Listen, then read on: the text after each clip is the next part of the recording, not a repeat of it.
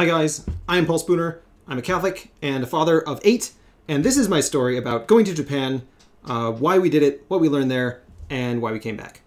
I mean, it's a pretty short story in those terms. I um, I was working at a company that does aerospace manufacturing, and they had some equipment that was installed in Japan, and so uh, they needed people to go there to support the machinery. Now, most companies have someone who's just on staff, who's permanently at the facility, does it, you know, 24/7 around the clock uh, support and stuff. But Electroimpact is kind of a unique company because they have at the time they had like 600 employees and about 500 of them were engineers. So basically everyone's an engineer in Electroimpact. And uh, as a result, they didn't have anyone full time on staff, you know, in Japan. And they also didn't want to get someone a, a permanent work visa there um, because the paperwork was really complicated and it was expensive or something. I don't know. But for the long and the short of it was they needed someone every six months to go there. Now you could have two guys to switch off, but um, they had a hard time getting people to go over to Japan for six months at a time, and uh, you know on a regular basis because most engineers wanted to be doing engineering and not doing support work. Um, but it sounded really cool to me, and I had a family at the time. But the guy who owned the company was super supportive of families. Uh, he would give like big bonuses depending on how many kids you had, that kind of thing. Very cool guy, uh, Jewish guy, and um, so he was like, "Yeah, I'll send you over. I'll pay for your family. I'll pay for your lodging. I'll pay for all your airfare. Go for it. You know, we need somebody over there." And so I was like, "Awesome! Like six month trip to Japan, uh, airfare, and you know, not all expenses, but we get per diem. It's just like fantastic. Who would say no to that? Well, mostly everyone. Um, but we're like, we're gonna do it. And so uh, signed up to go to Japan, and then." Um, or I, I mean, I guess I volunteered. So I put my name in the hat. I was like, hey, I raised my hand. Hey, I'd be interested in going if uh, if you guys want me to go. And uh, then they said yes. And so uh, around the time that they said, yeah, go for it, we're pulling the trigger, we found out that my wife was pregnant and was going to be uh, due to have the baby while we were still in Japan for about a month. So it was like, okay, do we really want to do this? And um, so, if you heard from my my other testimony video about how I became a Catholic, my wife and I were both Christian at the time. Uh, we weren't Catholic until we came back to California after we got back from Japan. Uh, so it was about two years after we got back from Japan, or a year and a half, somewhere in there. Um, and so we were Christians, and we're just like, you know, God's going to take care of us. It'll be cool. And uh, yeah, let's do it. And so we said, yeah, we're going to do it. We're going to double down. We're going to make this happen. And um, so we went over there. I'll go into all the details, but long story short, uh, my wife had the baby there. It was awesome. Uh, it turned out as well as we could have expected in a country that where we don't speak the native language and we don't have any health insurance there, and uh, you know all the complications one might expect. But um, it was pretty hard on her. I mean, the whole thing was pretty hard on my wife, but she made it through. And uh, then she went home a month early. I spent the last month, uh, September, in Japan, and then uh, came back home and went back to work doing my normal engineering job. So that's like the short story. And now for the long version, if you uh, want to stick around for the details. So this is my hometown of Camarillo and uh, that's where we lived before we moved up to work at Electroimpact. And Electroimpact is up in where is it? Mukilteo, right up here. It's actually right here, Electroimpact. So that's where I worked. And uh, so we were in Mukilteo, and that's because um, is right next to Boeing. So Boeing's right here. And uh, so a lot of the stuff they did for was for Boeing. Um, a number they worked for another number of other companies as well. But the main client was Boeing, or one of their main clients was Boeing. And Boeing has plants all over the place. So I think we can just like search for like Boeing plants. And it's just going to be everywhere. Yeah, so there's one in Renton. Um, there's one in Everett. There's one over here in Charleston and then uh, what happens with like when you get really big international companies that are like selling stuff internationally selling like huge things like airplanes um, the way that the whole like thing works hey gwen. Oh yeah i'd love to go to the park. All right. I'll pick this up. I'll, I'm, all you'll see is a cut but i'll be back. So the way that big international business works is if you want to sell a giant airplane in, say, Japan, then you have to build a manufacturing plant in Japan so that they got a slice of the pie, basically. So you give them a bunch of jobs and a bunch of industry and a bunch of imports and a bunch of tax revenue. And in exchange, they'll buy X number of airplanes from you. And it's not like an exact number, but a lot of times it's almost an exact number. So anyway, um, they have a manufacturing plant for Boeing. Boeing does in Japan. So the the two com- um, big cities that people know about are Tokyo. Of course, everyone knows about Tokyo. It's the largest city, used to be in the world. I don't know if it is anymore. And Osaka, which is the old capital and kind of like the tourist destination. Uh, we've got a big military base there. So all the military guys know about Osaka, and all the weeaboos know about Tokyo. But there's the third largest city in Japan, Nagoya, and that is the industrial center. So Tokyo is like the center of commerce and technology, and Osaka is the center of culture and history. Nagoya is the center of industry and, and capital. So we went to Nagoya, and down here on the docks uh, is Kawasaki Heavy Industries, Nagoya. Let's see if they got that new building. Yeah, they do. They built this whole building since I was there. Um, anyway, so that's Kawasaki Heavy Industries. I worked there for six months, and uh, but we didn't live there. Now there's like a bunch of housing and stuff all around here, um, but one thing you will learn about the Japanese if you uh, ever spend time there, or even if really if you like do business with them, or if you ask anyone in Asia, is that the Japanese are impossibly racist. They're like they're super duper racist. Now, like I don't consider racism to be a fundamental evil. It certainly can be a um, the root of evil of prejudice. But racism in and of itself, just saying like, hey, there's differences between the races, and like we need to honor those and respect those and acknowledge them. Nothing wrong with that. So I don't think that there's anything wrong with Japanese culture in that it's racist, but it is really, really racist. And for people who do consider racism to be like a fundamental problem, uh, it's like really hard to get used to. So um, anyway, they're super racist. You can even see it in the language. They have a, a, a pictographic language. You know these characters here, these these uh, katakana, and then they are. I think is it katakana or hiragana. Anyway, they've got an entirely separate. Oh, those are kanji. Those are kanji. And then there's katakana, I believe, is the Japanese alphabet. They've got like a phonetic alphabet, like the English alphabet, which, which is kind of phonetic. The Japanese one is like super phonetic. It's very strict. They're they're very conservative as well. But then they have an entirely separate alphabet, a phonetic alphabet for foreign words. So the whatever the one is for Japanese words only uses Japanese words for that one, and then the separate foreign words are in the separate language. So it's like completely separated, right? All the foreign stuff, keep that outside. We don't want it mixing, we don't want it intermingling with any of our pure Japanese language.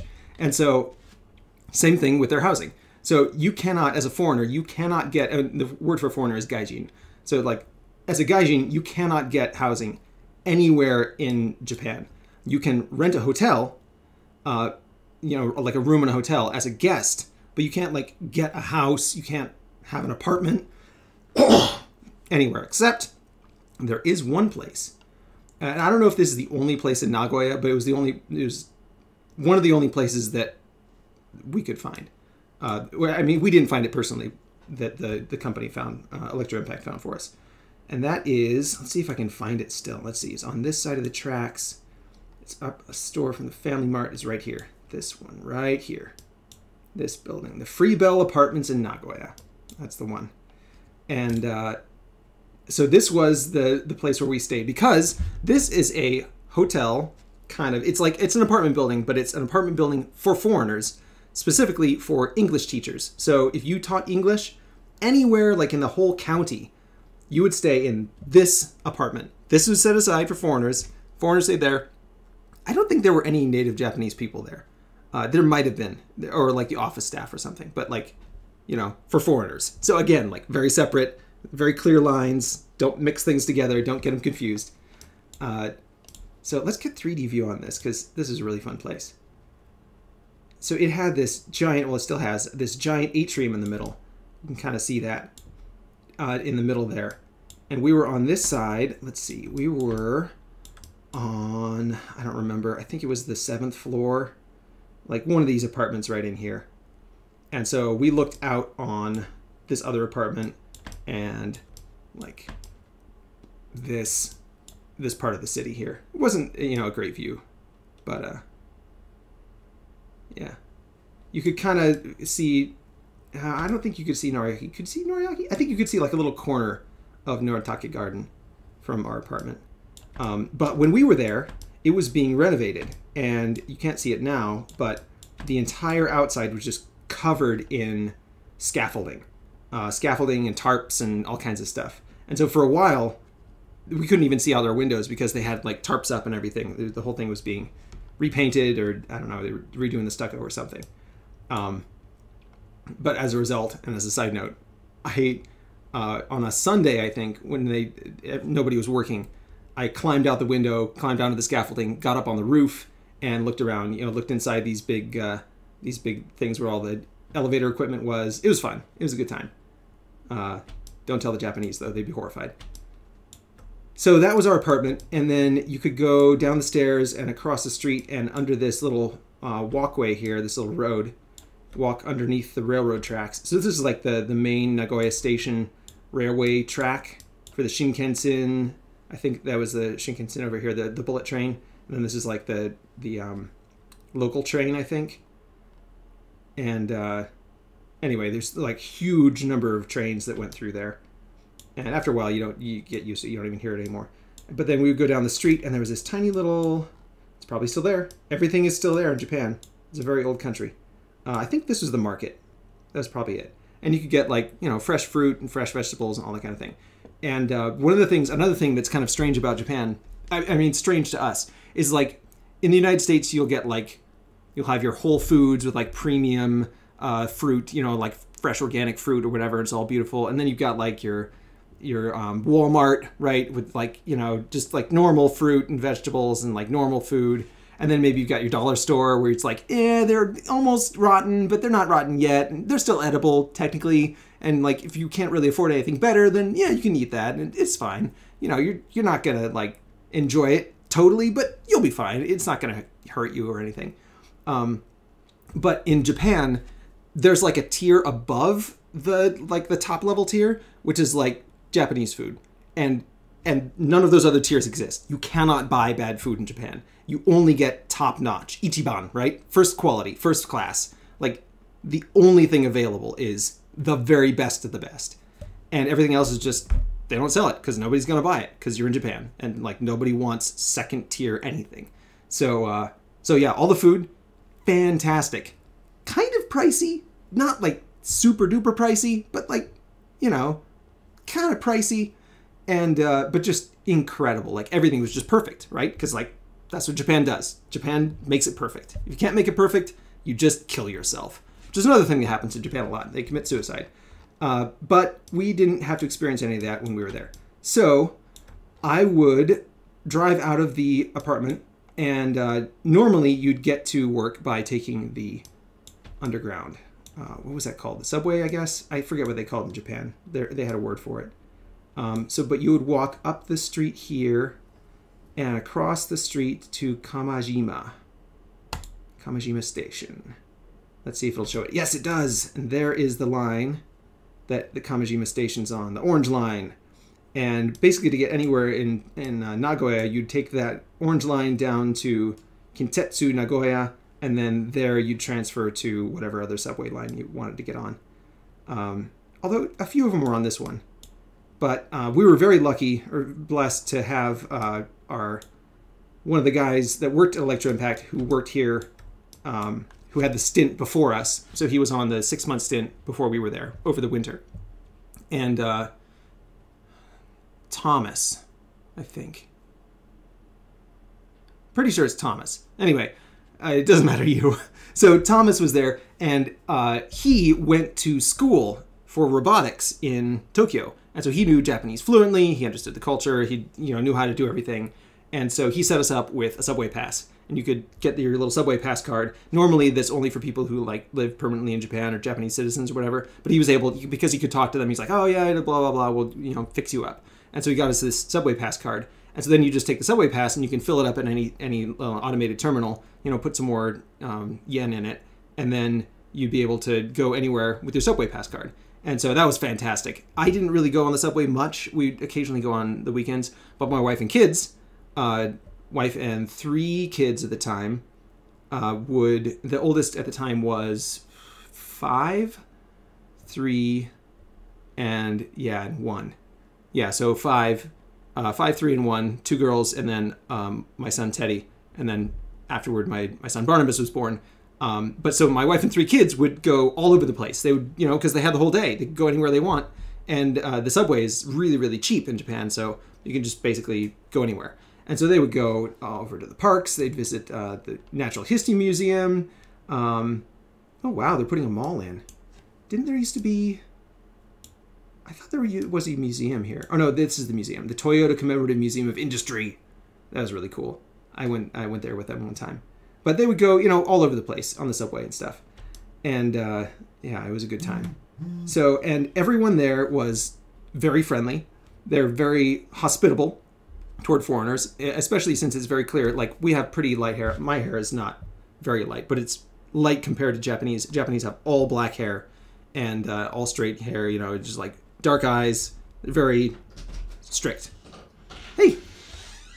So I was going on about how the Japanese are like have a very specific look. They're they're you know genetically very similar, and uh, so we just stood out like crazy. You know, all my kids have blonde hair, they've got blue eyes, and uh, so the the Japanese ladies, everybody would just be like crying, "Oh, kawaii, kawaii desu ne," which means oh they're so cute, they're so cute, right?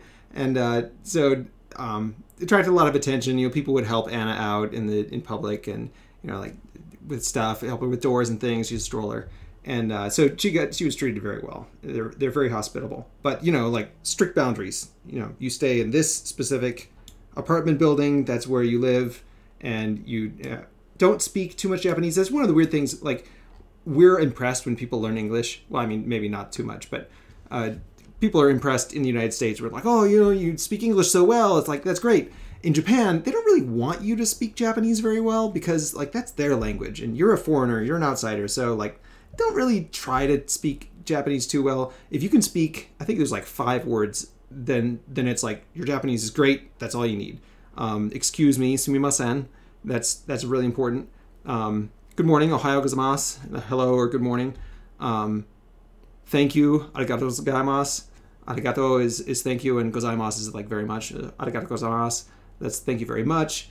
And uh, that's uh, is that what's three phrases? So that's basically it. That's basically all you need.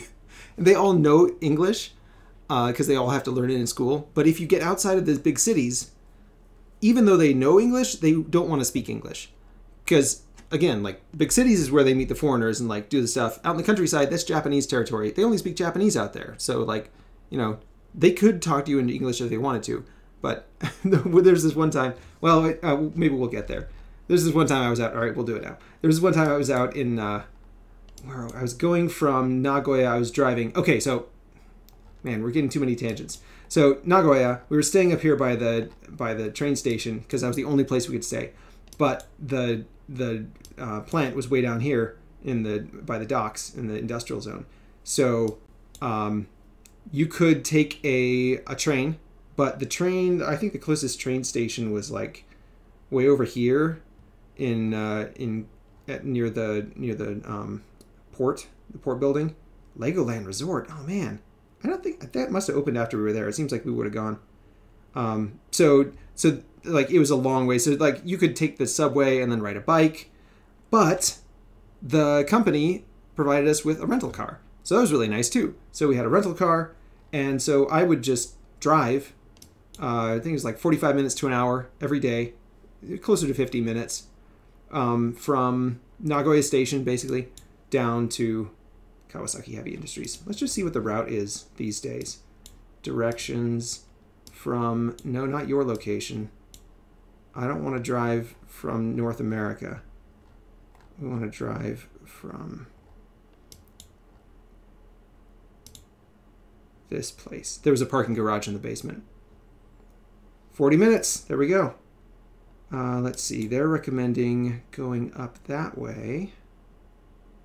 yeah, I could do that. Uh, the way I eventually ended up going was down on the highway, down this way.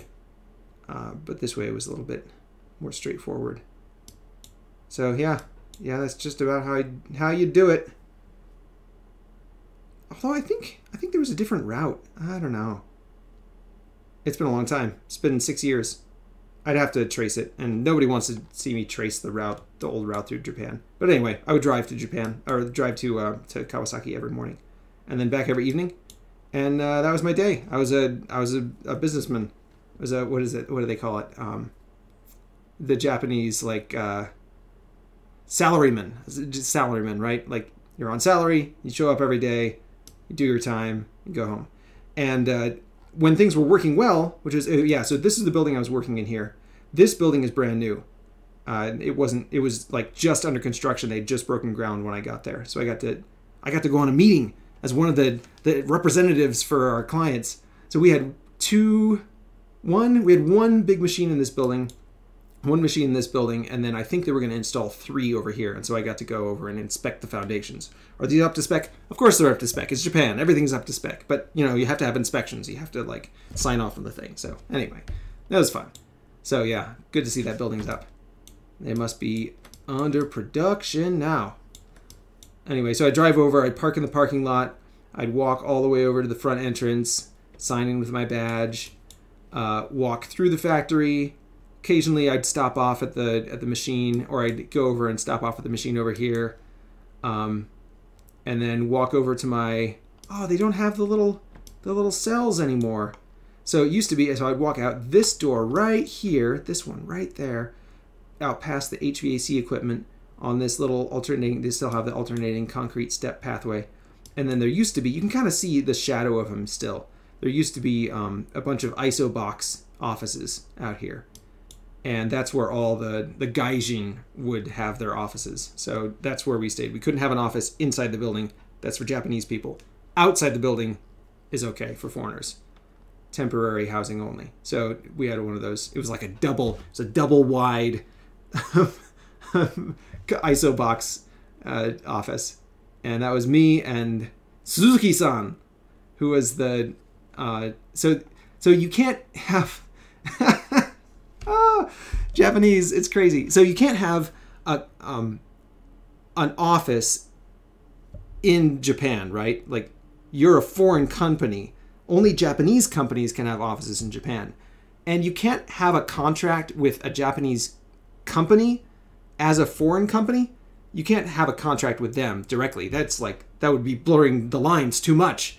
You have to go through an intermediate company. I forget the name of it, but there's some like there's this intermediate business and so our company, Electroimpact, had a contract with this intermediate company, and the intermediate company was the one was in Japan, and they were they were a special company that just did this kind of transaction. All they did was have contracts with foreigners so that they could draw the line at this company, and then nothing on the other side of that company was outside Japan, right? They could, all the Japanese people could interact with that intermediary company, and then the intermediary company did all the interaction with with the outsiders, with the gaijin, right, with all those dirty foreigners. So, uh, so there was a translator on site all the time that I was there, uh, and I think he was, I think he was permanently on staff. So he was like, you know, Japanese citizen, and uh, and he spoke English, not great, but well enough, right? He was a translator, and that that was fine. And he was also an engineer, I think. I think he was an engineer. Anyway, so it was his job to be there and be able to translate whenever we needed help translating so that I didn't have to speak Japanese. And again, they didn't really want you to be able to speak Japanese. Um, Thomas was, they liked Thomas because he was, he had gone to school there and he, you know, grown up with their, in their culture and stuff. So it was kind of like, he was inducted and he was kind of Japanese, right? He was Japanese enough. And so it, it was fine. But uh, for most people, it's like, no, no, no, don't, don't bother to try to speak Japanese to us. Just speak through the translator. So uh, anyway, so Suzuki-san and I shared an office, and and there was it was a double wide, so there was like a partition right down the middle. It wasn't actually partition, but you could see like the line where they joined them together. And so his desk was on one side of the thing, my desk was on the other side, right? Just to keep you know separate. You wouldn't want to like mix up stuff. and so and all my stuff was on the Gaijin side of the office, and all of his stuff was on the Japanese side of the office. And uh, occasionally he would like print out a thing on his side of the office and like walk it over to me and give it to me. And I'll like, all right, thank you, Suzuki-san. Oh, I'm gonna go some And he's like, oh, your English is so good, and right, like the whole thing. There's a whole ritual. Anyway, so uh, so I'd sit in the office, and when things were going well, I would just sit there all day, and then I would go home. And uh, when things didn't go well, then uh, Suzuki-san would come over and be like, oh, Paro-san, uh, so sorry, but the uh, machine is uh, having trouble, and uh, we need to go and uh, see. Uh, is uh, very pleased. Is okay. And it's like, yeah, yeah, yeah, it's fine, it's fine. Let's go. And so we'd go over to the machine, and and they would say what was wrong, and he would translate it, and then I would say, okay, well, you know, take some pictures and send it back to the company, or maybe you know, like you try pushing this button to reset the home or whatever, whatever was going on in the machine. And uh, only a few times did I have to actually do anything. And uh, the, the the highlight of my career there, doing support, was there is this. Um, let me see if I can find some pictures of these machines.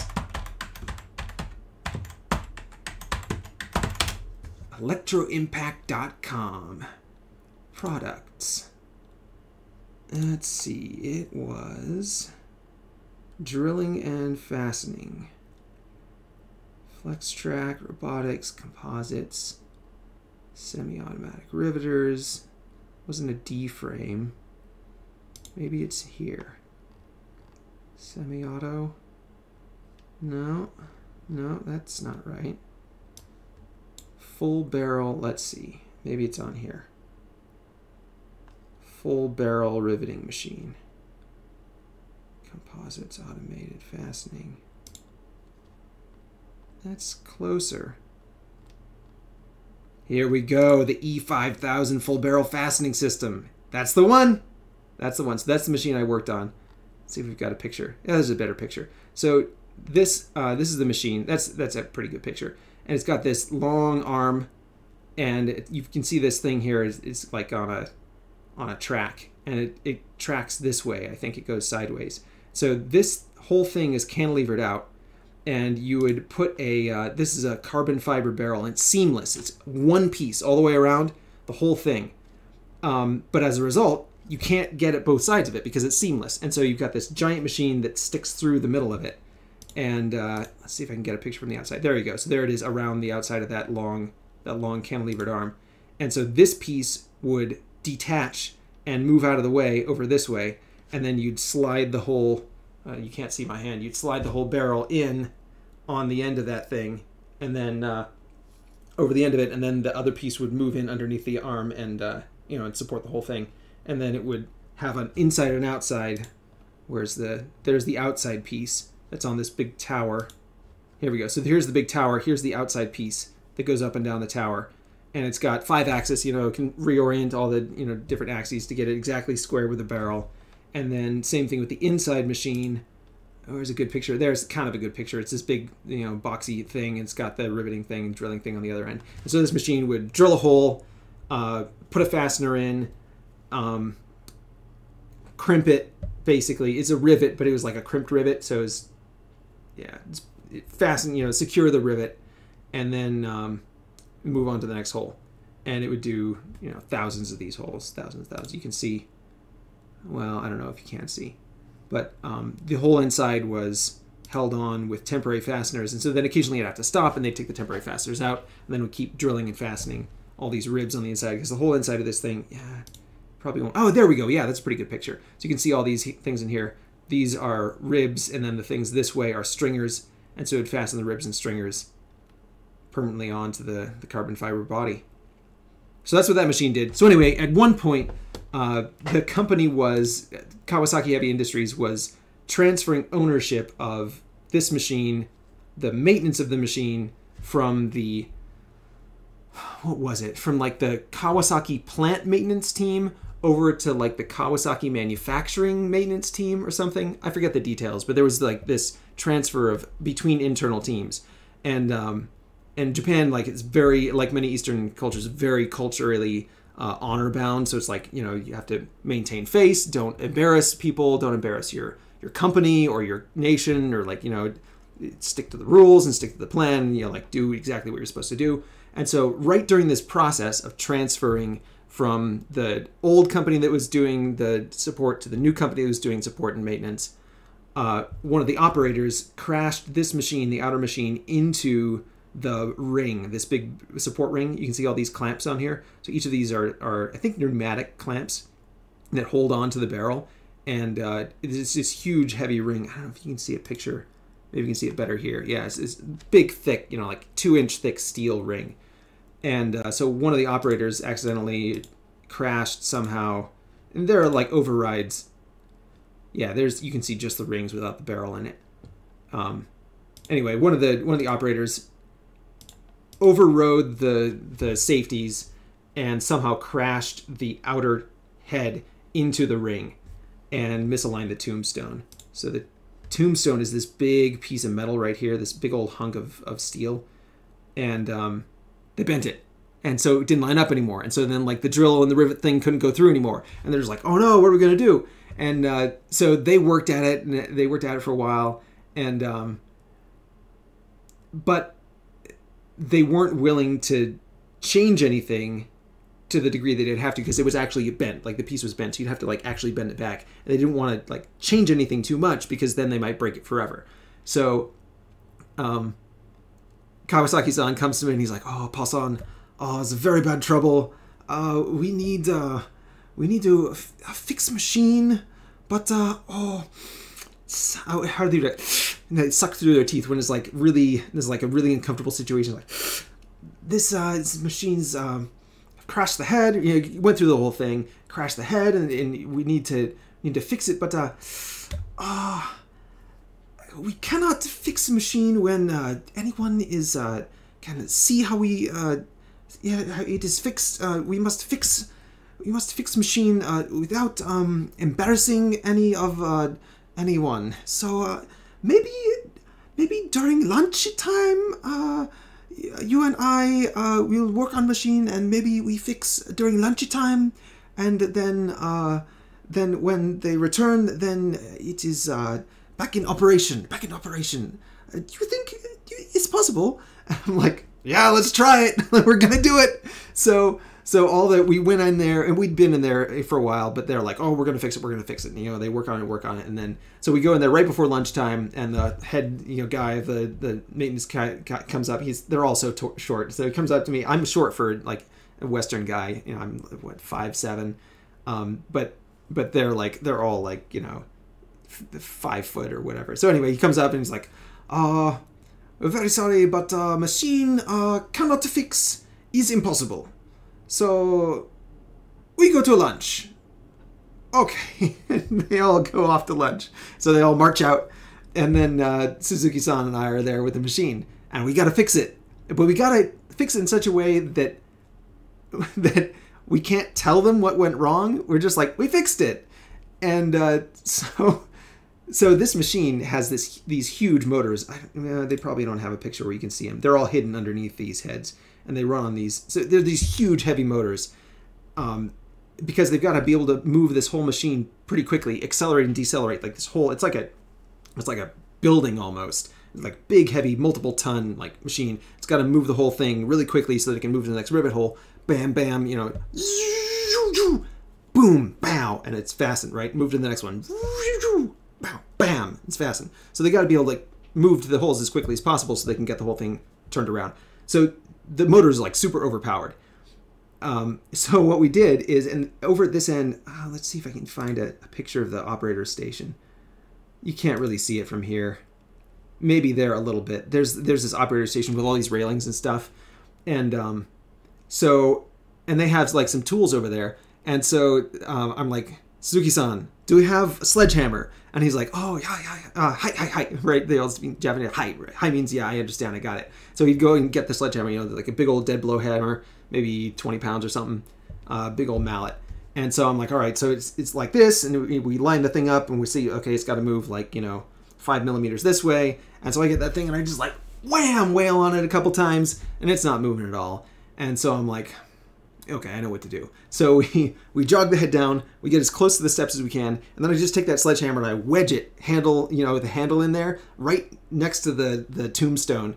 You can't even see my hands. I don't know why I'm doing this here. So there's there's the the steps, and then like I take the handle and just wedge it in right be- beside the head, so that there's like the head here and then the steps down here, and then we just start jogging that machine, and we just jog the machine over until the head gets cranked over back in line. And uh, then we jog it back and check it, and it's like, oh, it's not quite aligned enough. And so we jam that thing back in there and just like jog the machine. You just like push the button and it's like kink, kink, kink, kink, and keeps moving the whole thing. And uh, the stairs are creaking, and the handle is like getting a little bit bent and uh, the corner of the handle because it's all like this big you know plastic thing like there's this permanent dent in the corner of the handle where the thing's just been like cranking into it and uh, so we just jog the machine back and like get the whole tombstone kind of bent back into shape and uh, then we're like yep looks good you know jog it back so unload the thing and yeah it looks fine. It's lined up again and uh, put everything away. And it took us like 20 minutes or whatever and then we just like wait there until they come back. And they're like so is uh how is the machine doing? And, and we're like oh we're, we're very sorry. Uh, it was impossible to fix but uh, we have temporary solution temporary solution only uh, but maybe it is okay to run now. Right? And uh, so they're like oh and as I look at it and like oh oh how did you do it it's like uh, oh it was uh, it was uh, it was not uh, it was uh, very difficult is not we cannot tell you how we did it right And it's like really it's too hard and uh, and they're like, "Oh, how would you, how do you uh, with a sledgehammer?" And I was like, oh, "Sledgehammer!" Wham! Right with a sledgehammer, and like, "Oh no, we tried that." And I was like, "Oh well, you know, Americans are very strong." And like, "Oh, right, right." So it was it was a good time. So uh, so they we got it working again, and uh, everything was fine. And then there was, I think, like two weeks later, there was a scheduled, or I mean, no, it must have been a month. It was like it was a, quite a while. Maybe it was only two weeks, two weeks or three weeks or something there was a scheduled downtime where they're going to do maintenance on it. And so we called up uh, home base back in, in the states and we're like, hey guys, you know, here's what happened. Didn't wrote the whole thing up, right? Uh, here's the thing. They crashed the head. We had to realign it. I jammed with a sledgehammer and cranked it over. It looks like it's fine, but you're probably going to want to place a whole tombstone. So uh, you know, I hope you got us have got a spare one of those. And while you're at it, here's some of the things. You know, there's some other stuff that we wanted to change on the headstone while they were doing it. So they're like, oh yeah, yeah, we'll fix that. Uh, there were some shims actually. So they, when they align the headstone, you put some shims under it to get it exactly lined up.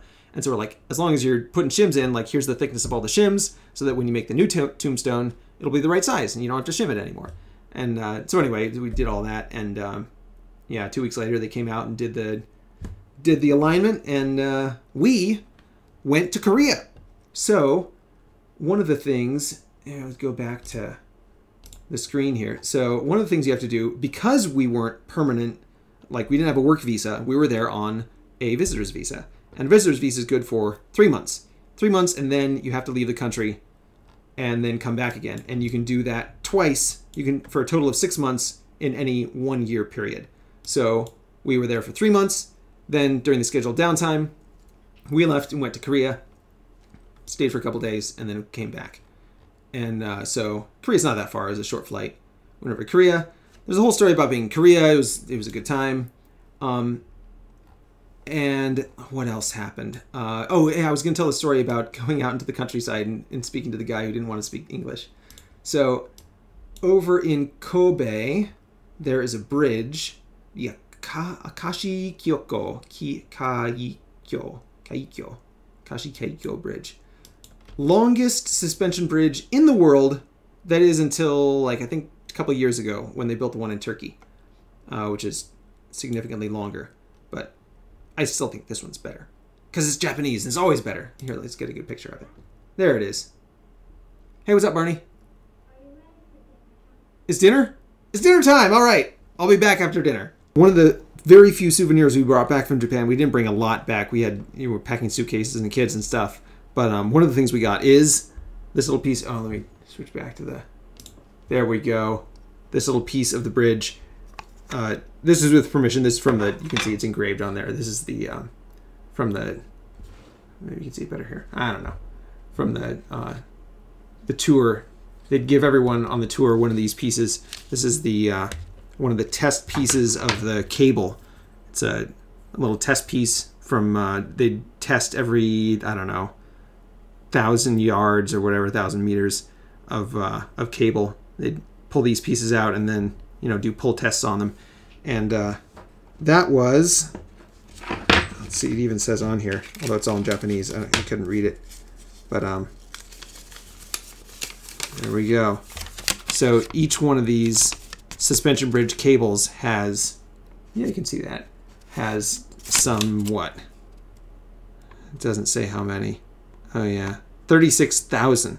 So there's 290, there's 290 of these strands, these clusters, and each cluster has, uh, or maybe 127, I don't know. And then each cluster has 290 in it, so for a total of 36,000. 36,000 of these these little cables, these little uh, monofilaments inside that giant little cable. So anyway, it's a it's a very cool souvenir, especially for an engineer. You know, piece of uh, piece of history. So that's cool.